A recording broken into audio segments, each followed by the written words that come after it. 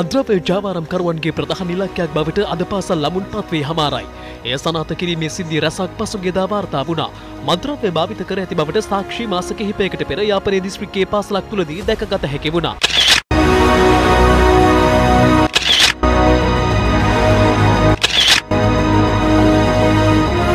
මේ මන්නාරම පුනරුත්ථාපන මධ්‍යස්ථානයේ අධ්‍යක්ෂපියතුමා தாங்கள் திருந்த வேண்டும் என்று මේක භයානක තත්ත්වයක් මද්‍රව්‍යවලට ඇබැහිව් තරුණ පිරිස් අපේ මධ්‍යස්ථානවල පුනරුත්ථාපනය ලබනවා.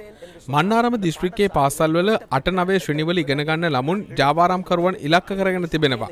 එම නිසා ළමුන් ගැන වැඩි අවධානයක් යොමු කළ යුතුයි. ஒரு குப்பை எனக்கு கிடைத்த தகவல் ලොකු තැන්වල ඉන්න පුද්ගලයින් දුප්පත් පවුල් ඉලක්ක කරගෙන මේ ජාවාරම අපේ දිස්ත්‍රික්කේ සිදු කරනවා. වැඩි වශයෙන්ම අයිස් මද්‍රව්‍ය මෙහි භාවිත වෙනවා. කොකින් මද්‍රව්‍යත් අපේ දිස්ත්‍රික්කය තුළ ව්‍යාප්ත වී තියෙනවා කියලා පහුගෙදා පැවති සාකච්ඡාවේදී පොලිසිය අපිව දැනුවත් කළා. கவனத்துக்கு கொண்டு வரப்பட்டிருக்கின்றது මේ යාපනය දිස්ත්‍රික් ලේකම්වරයා මේ හේතුවෙන් ළමා හා කාන්තා අපචාර සිද්ධීන් වැඩි වශයෙන් වාර්තා වනවා. එන්නත් තරහා මද්‍රව්‍ය භාවිත කිරීමෙන් මරණ කිහිපයකුත් වාර්තා වෙලා තියෙනවා. කෙටිකාලයක් තුළ අපේ දිස්ත්‍රික්කයේ එවැනි මරණ විස්සක් වාර්තා වෙලා තියෙනවා.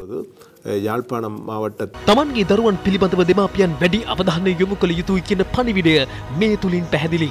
උතුරේ ව්‍යාප්ත වන මද්‍රව්‍ය භාවිතය වලක්වන්න ආරක්ෂක අංශවලට බැරිවුණේ ඇයි මේ පිළිබඳ තොරතුරු හෙට